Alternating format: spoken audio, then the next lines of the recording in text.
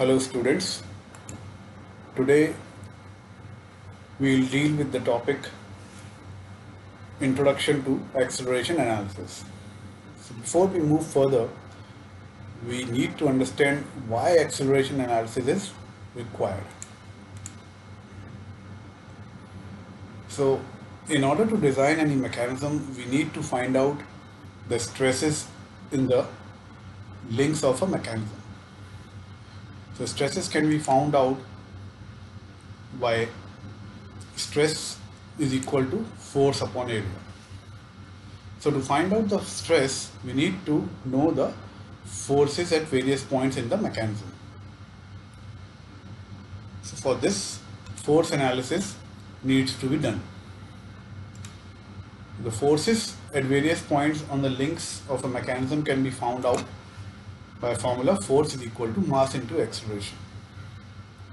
So to find out the force, we need to know the acceleration at various points in a on the links of a mechanism.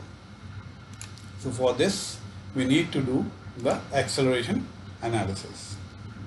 So knowing the acceleration, we can find out the force and knowing the force, we can find out the stresses. That means acceleration diagrams are the fundamentals to the stress analysis of a mechanism. Now what is acceleration? Acceleration is the rate of change of velocity and it acts in the direction of the change in the velocity.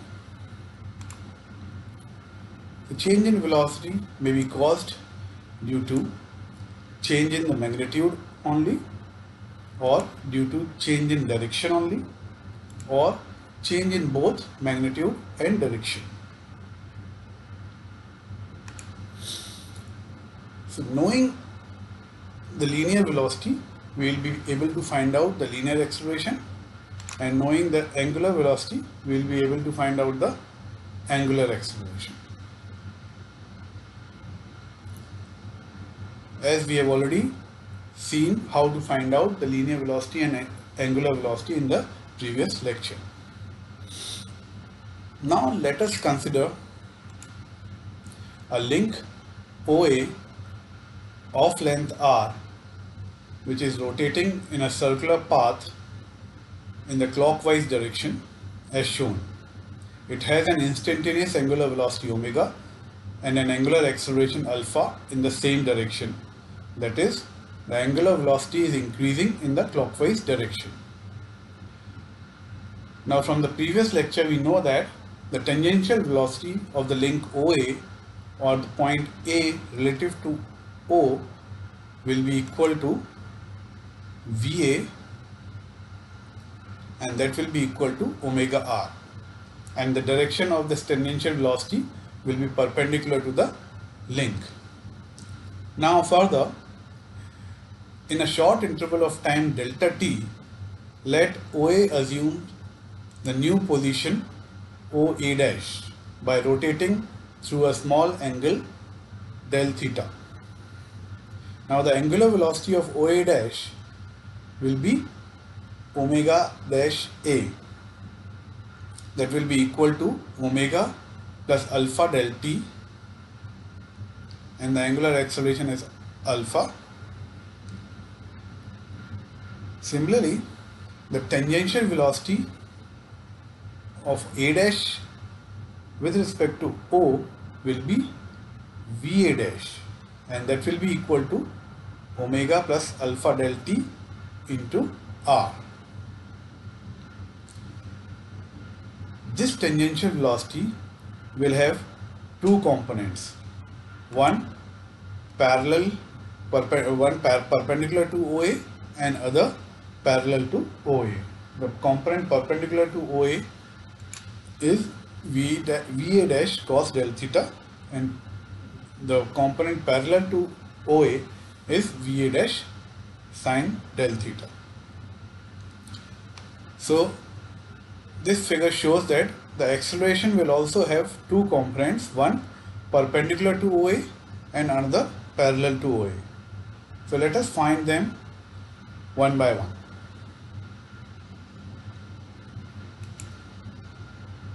So the first we find out the change in velocity perpendicular to OA.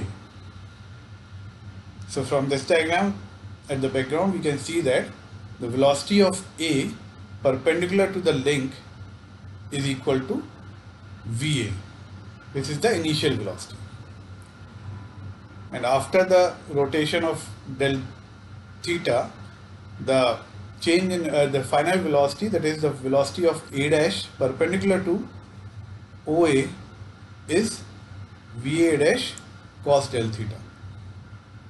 So what will be the change in velocity? The change in velocity will be VA dash cos del theta minus VA. So by this we can easily find out the acceleration of A perpendicular to OA is given by omega plus alpha del t r cos del theta minus omega r divided by del t that is change in velocity upon time. Now suppose if this del t is really very very small. So in the limit del t tends to 0 the cos del theta will tends to 1. Keeping these values we have acceleration of A perpendicular to OA will be equal to alpha r or this can also be written as d omega upon dt into r which is also equal to dv upon dt. So this represents the change in velocity, the rate of change in velocity in the tangential direction of the motion of A relative to O and it is thus known as tangential acceleration of a relative to O. And it is denoted by FTAO that is tangential acceleration of A relative to O. So FTAO is equal to alpha r. And this and the direction of tangential acceleration will be perpendicular to the link or parallel to the velocity vector. It will be perpendicular to the link or parallel to the velocity vector. Next, we will see the acceleration component parallel to the link OA.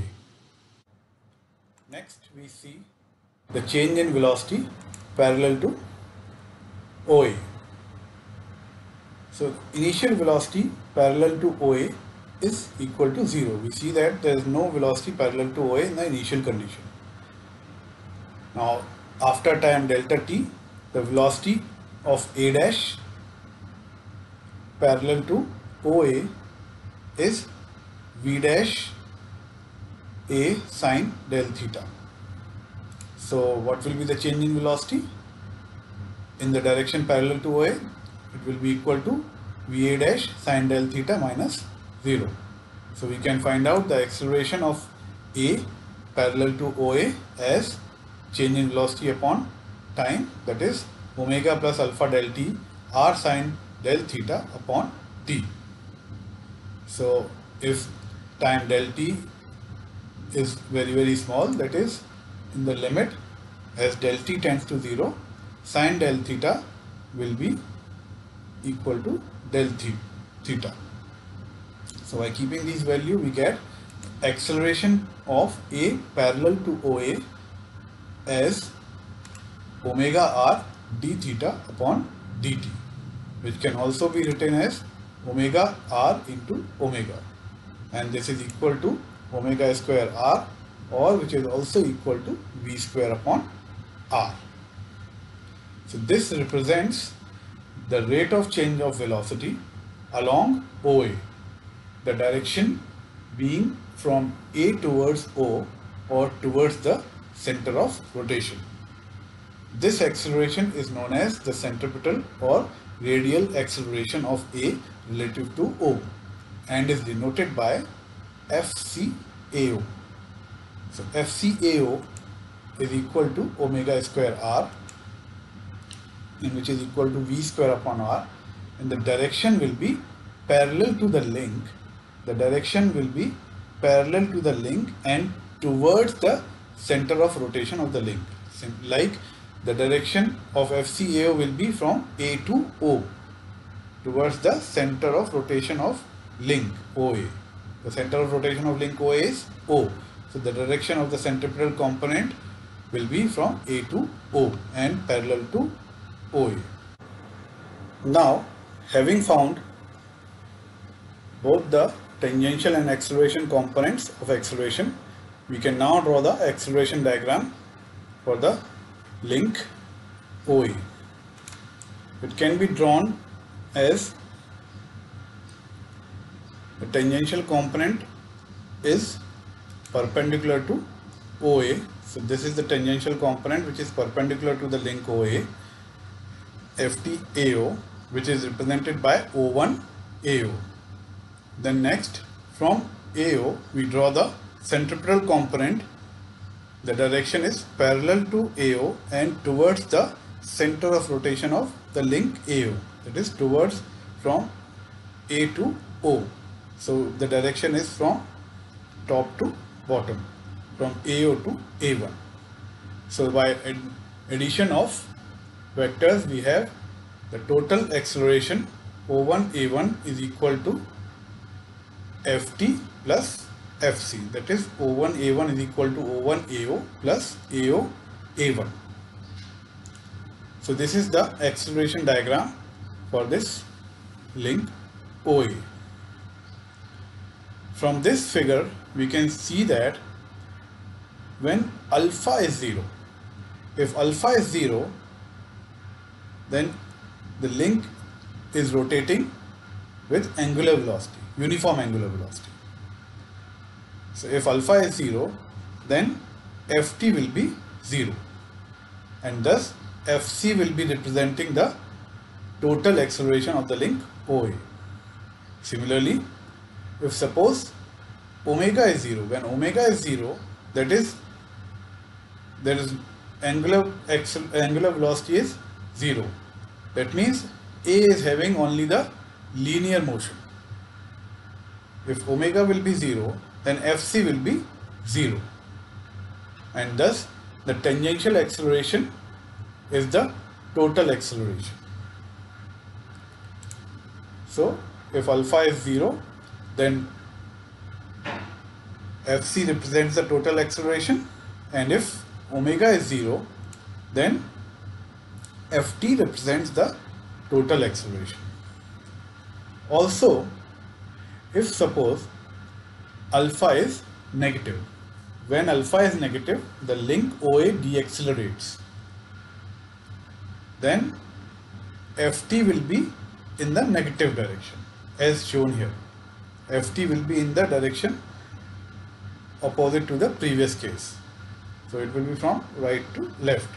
So OA, uh, AO, O1 AO will represent FT AO and FC will remain the same.